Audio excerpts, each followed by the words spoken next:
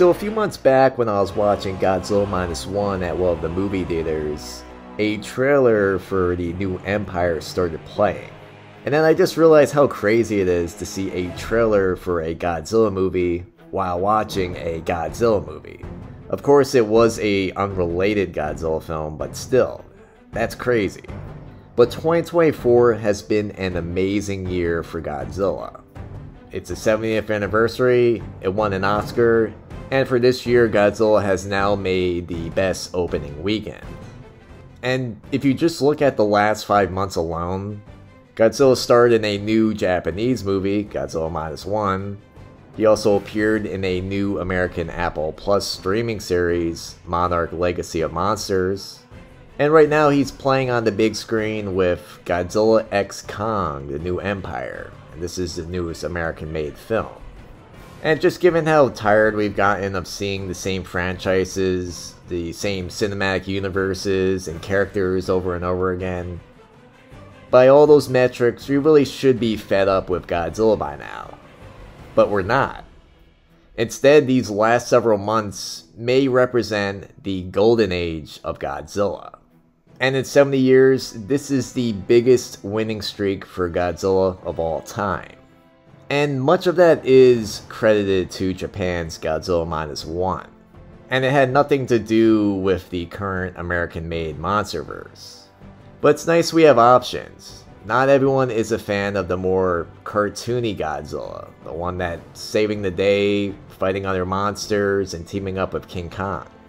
And Godzilla Minus One just gave us a great callback to the original 1954 film.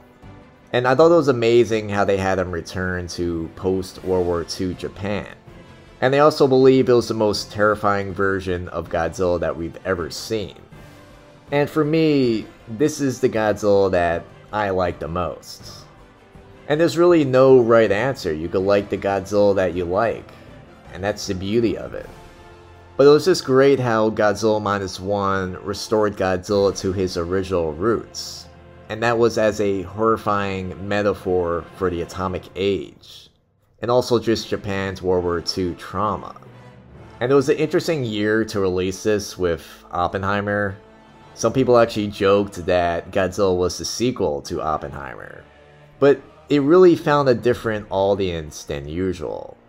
And this was namely an audience made up of Oscar voters we've never seen that with a Godzilla movie or monster movie. And Godzilla won its first Academy Award in 70 years, and that was for Best Visual Effects.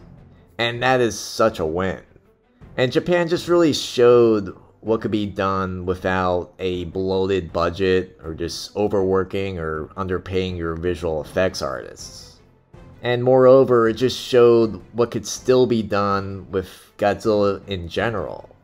And Godzilla by now has just underwent plenty of makeovers.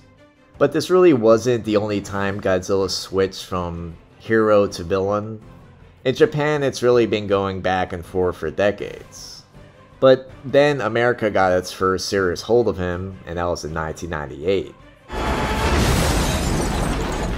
And a lot of people didn't like that film, they called it a failure. But then America tried again years later, and that was with Gareth Edwards' Godzilla in 2014. And that film really tried to inspire the awe and wonder of Godzilla once again. And I still have really fond memories of seeing that in the movies.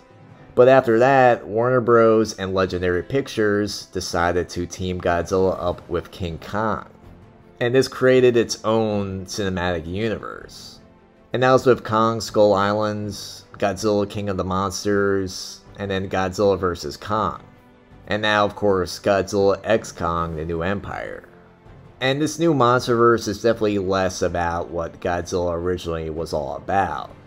And that was, of course, post war metaphors.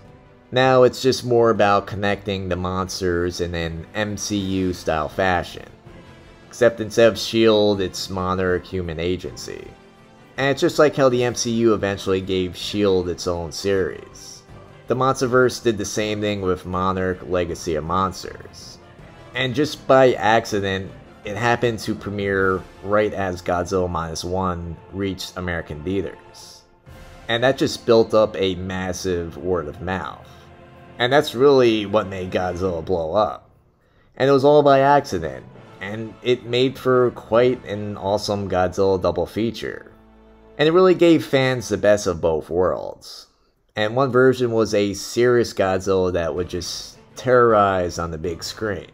And the other was a more fun and cartoony approach, and that was with the American version, Monarch Legacy of Monsters.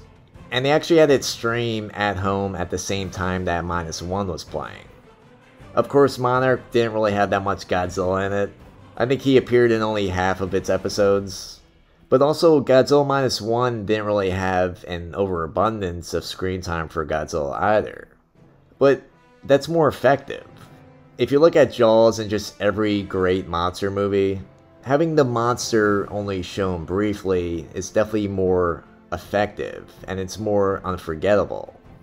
And just with how well made Godzilla Minus One also was, that definitely made the Monsterverse and American blockbusters definitely look lacking by comparison.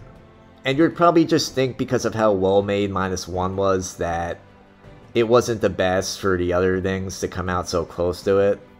But still, Godzilla X Kong is just breaking all kinds of box office records. And this proves that the people really are just hungry for Godzilla. Of course, I prefer minus one, but I believe that sometimes you need something mindless and fun every now and then.